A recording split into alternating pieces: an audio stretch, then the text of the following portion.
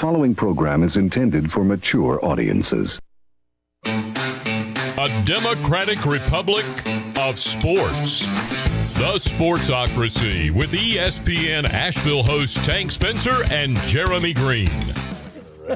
Use our promo code Sportsocracy at manscaped.com today. Again, save yourself 20% off uh, and get free worldwide shipping. Promo code Sportsocracy at manscaped.com. Your balls will thank you. The Arizona Cardinals, Jeremy's best team in the NFC from 2020. Yeah, they went 8 and 8 again. Uh, and I tried to tell you that was going to happen. This year, though, things are a little bit different. The Cardinals went out and they they restocked and they brought some veterans onto this team to help you know to help the young guys develop a little bit more. Um, I think they had a, a really good offseason. They did. Getting J.J. Watt, to me, Huge. I did not see It's a that huge coming. vet presence in the locker room. So is AJ Green. I did not see that coming, and they killed it with that with that signing. The the best case scenario for the Arizona Cardinals: keep scoring, start stopping. That's right. The defense needs to stand up. Uh, because you're good, you can score with everybody in the league. But if your defense continues to give up more, you know, you know, more points, we see we saw it last year with this team. We saw it last year with the Dallas Cowboys. Um, it's the old adage: defense wins championships. If you want to win this division, your defense is going to have to mature. And I think it's going. I, I think this is the year. I like the way Isaiah Simmons came along at the at, at the late stage of last year. He's going to be playing linebacker this year. They went out and, like I said, they added J.J. Watt to this team. Uh, the Chandler Jones thing, I don't, I, I don't foresee Chandler Jones going anywhere. There's been a lot of talk about whether or not they're going to trade Not him happen. or what. I don't see that happening. They added Zaven Collins in the draft, who's going to be an immediate starter in the middle of that linebacking core. Mm-hmm. I, think, I like Zaven Collins. I, it's that, that was a very hat on a hat to me. You already had Isaiah Simmons, and I, I like Zaven Collins. Mm-hmm. I, am not real sure how all this is going to play out. I'm not sure how you how you get all these guys on the field together at the same time. You got a lot of undersized linebackers. Mm-hmm. And how, but again, I think that goes to the speed factor. Oh, it's 100 percent speed. We want to have speed on the defensive side of the ball. Yeah, I have one problem with Arizona that scares the shit out of me. Okay, I'm afraid that? teams are going to run the ball down their throat.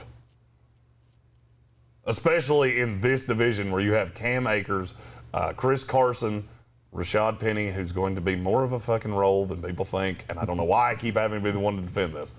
Uh, and then San Francisco that just trots out a running back that runs for you know 100 yards a game. Right. That scares me a little bit. Patrick Holt said in the comments the Cardinals are finishing last in this division. I will take that bet for anything you want to bet on it. I would not uh, be touching that bet for anything because I, I very well see a path that that happens. The Seattle Seahawks, I think you you constantly sleep on them, the ability for them to continue to win games despite the fact that they have some holes on their roster. Um, and obviously, we will be covering the Seattle Seahawks in just a moment here uh, in the best worst case scenario here in the Sportsocracy. But you know, I, th- I feel like the Arizona Cardinals have a chance, but it all comes down to, I mean, Kyler Murray, and we've seen him be able to get the ball out to his receivers. They just added AJ Green. I'm not sure what that, what his role is. Who's going to be the odd man out in all of this? They just drafted Rondale Moore. They still have DeAndre Hopkins. They still have Christian Kirk how does how does it all fit or does it even matter are they just going to throw so much that we don't even realize that somebody's getting left out of this mix with the wide receivers Okay, Andre. Uh, first of all, wel- wel- welcome, Andre. Uh, I said something that I and I phrased it poorly, so I need to uh, explain what I was trying to say. Okay. Uh, Zaven Collins is not undersized as a linebacker. That's not the problem. Problem is they're planning on playing him as a as an edge in a four man front, and I don't love that. Isaiah Simmons is undersized for a linebacker, which is what I was trying to say, and I I got about seventy percent of the thought out, and then didn't get that last thirty percent in there. Mm-hmm. Collins is, and I like Collins. That's part of why I'm so high on the Cardinals is I like all these pieces. I just don't know how you're going to fit them together. Mm-hmm. I don't see how you're going to. And All right, let's go this way. I don't see how you're going to have Zaven Collins as an edge guy on the opposite side of Chandler Jones with Isaiah Simmons in the middle and not the greatest D line outside of J.J. Watt. Mm-hmm. I just feel like teams are going to be able to pick on you running the ball. That's my fear. Probably should have said that in the worst case scenario, not in the best case, but Okay, well the depth. I said something wrong and had to correct it. the So- depth chart that I'm looking at has Collins and Simmons in the middle. which makes Of a three, zero four. sense to me. Of all the ways to use him, that's the way that makes the least sense to mm-hmm. me. I liked him as a four-three Will. I liked him as a four-three uh, as a four-three Mike. Mm-hmm. I liked him as a three-four outside linebacker. I don't understand the because they're already talking about moving Jordan Hicks, and I like Jordan Hicks. Mm-hmm. I don't understand that. I don't think that's the best use of his talents. After I watched tape on him, and I watched uh, I watched a lot because I like him a lot. I just don't get it. What you want to give him more range of motion coming want, from the I want him. outside? I want him coming off the edge a lot, and I don't really want it to be with his hand in the dirt, which Yeah. doesn't make any fucking sense to me. But I've heard that coming out of Arizona is that they plan on him playing all over the place. Okay. He's going to be a positionless player. Stop doing that. Stop doing that. It's the Obi Melifonwu rule. I had to say this to somebody on, on Twitter the other day. Mm-hmm. Obi Melifonwu is one of the most athletic guys I've ever seen in my life. The reason that he has played for 19 teams in what eight years Yeah. is because nobody ever plays him at one position. Let a guy. It's really hard to come into this league as a rookie, and and maybe it's because I'm the draft guy that I'm so sensitive to this. Pick a spot and let them learn it. If two or three years down the line you want to start moving them around, that's all well and good. I don't like. it. Zaven Collins was very multiple at Tulsa. That's playing a lot of the Houston Cougars, Memphis Tigers, and Central Florida Golden Knights. Mm-hmm. It's not the same level of competition. So now you're going to ask this guy to come in and be multiple again and be jack of all trades and master of none. It doesn't make any sense to me. Sorry, when I say something wrong and somebody calls me on it, I have to explain. uh, but I do appreciate you calling me on it because if we Right. we put these out individually, and trust me, teams don't let that shit go. Fans of teams do not let it go when you say some dumb shit. No. This is a team that I feel like they are going to be able to get after the quarterback. I'm I, I'm not uh, scared about their secondary. I get that nothing really pops I like off the, the screen at you, other than Budda Baker. Am I the only one that likes the secondary? Like, and maybe I'm out to lunch on this. I mean, it's it's fine. Malcolm Butler's a legitimate one, fact or fiction? Fact. He's a legitimate one. He's one of the 32 best corners in the NFL. yeah, I'd say fact. I mean, it didn't go well in Tennessee last year. Robert Alford is one of the 64 best corners in the NFL. Mm-hmm. Uh, I like Byron Murphy a lot. Loved him coming out of Washington. He's your nickel back. Then you got Tay Gowan on the backside. That's your four. That's a lot of talent in your secondary. I hear a lot of people bash the secondary, and I don't get it at all. If there's anything I'm going to bash, it's going to be the front seven because I don't know how they all fit together.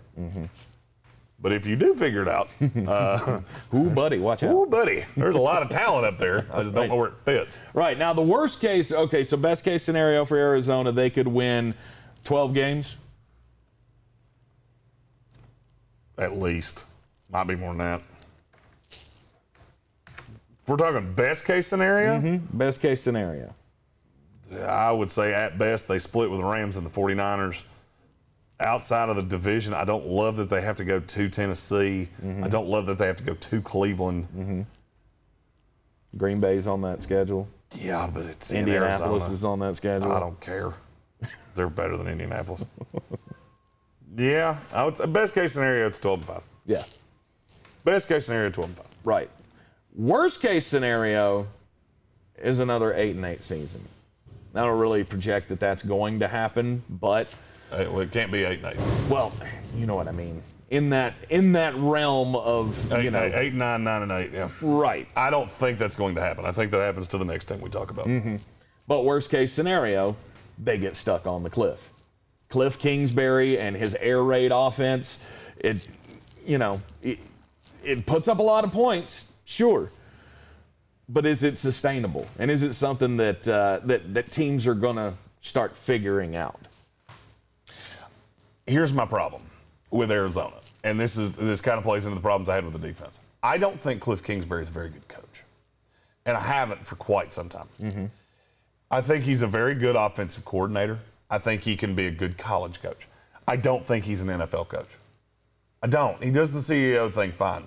It's the in-game decisions. And look, I was there was probably nobody higher in media in the world on uh, the Cardinals than I was last year. Mm-hmm. I, mean, I routinely said I thought they were the most talented team in the NFC. I thought they were the best team in the NFC. Mm-hmm. That was my spicy hot take going into last year. Cliff Kingsbury cost them a lot of games that were winnable with just piss poor decisions. I'm afraid, afraid that could happen again. If you told me this team doesn't make the playoffs, outside of Cliff Kingsbury, name me something that could stop them.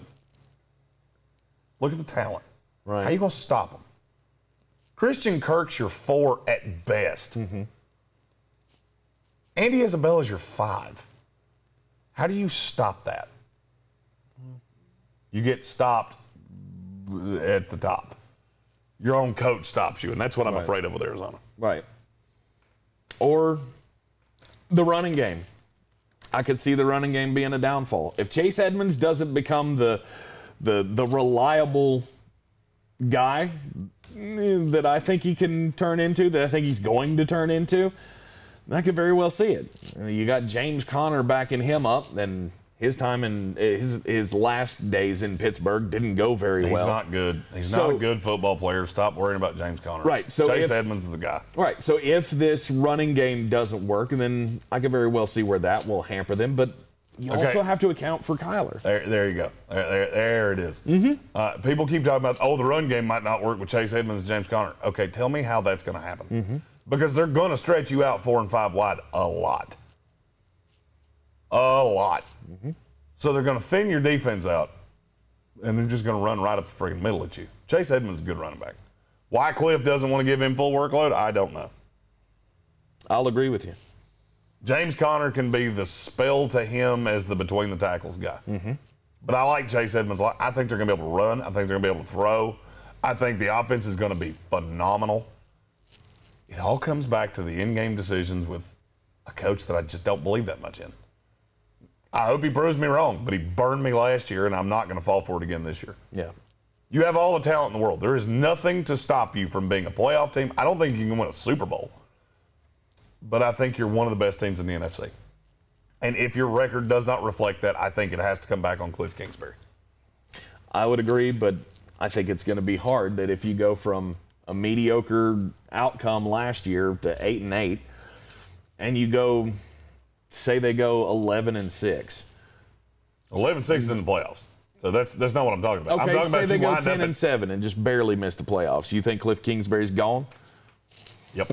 Yep, I do. No, I mean that's a Yep, I do. it's a, it's a two win increase uh, year over Whoop-de year. fucking do. And I, I mean, you can say whoop de fucking do. You but, finished I mean, dead last in the division. You have, you have the easiest schedule in this division by a mile. You cannot miss the playoffs with what you, you- because you're all in. Mm-hmm. You got AJ Green that's 407 years old. You got JJ Watt that's 497 years old. You you did this. This wasn't to be. Oh, we're better. We're better than we were last year. Uh, if you can't do it against this schedule with this team, you're not the guy. Period. Mm-hmm. And it's enough uh, j- pissing in the wind by Cliff. They don't make the playoffs. He's fired. Period. Okay. I expect them to be in the hunt for the playoffs, whether or not they'll make it. I mean, I won't be shocked one way or the other. I do expect them to be better than they were last year, but whether that translates into a playoff appearance, I think there, there are several good teams at the top of the NFC. It's going to be really hard uh, to get into the playoffs this year. I have a feeling. What's the one move that you would make to make this team better? You already mentioned you were worried about, uh, you know, teams running the ball down their throats. So, interior on the defensive line. The bad thing is that the addition I would like to make to this team, there's not a guy out there that fits. Okay, what is that? Uh, I, like a Stevie McLendon would be the ideal for me. I would love to have a guy that's just a big ass run stopper in the middle. Uh, that, that's a talented run stopper. Before you give me Leki Fotu, I know how big he is. I don't give a fuck. Leki Fotu. Yeah, I don't care. I just, I, I like Watt. I think Watt's going to help, but three, four, you got to have three formidable guys on that D line, and I'm not sold that they do. I was going to mention Geno Atkins. Geno Atkins is a guy that you can get relatively cheap. He's, you know, he is a seasoned veteran in this league. And I think that would make them very, very scary. I, I would like that move a lot. Yeah. I would. That, to, to me, that would be a formidable move mm-hmm. that would probably alleviate some of my fears. That's that's my one move that they can make. Arizona, I believe that they are while they're not best team in the NFC good, uh, they're very close. They're very good. They're very close to being in that short list of teams atop the NFC for me.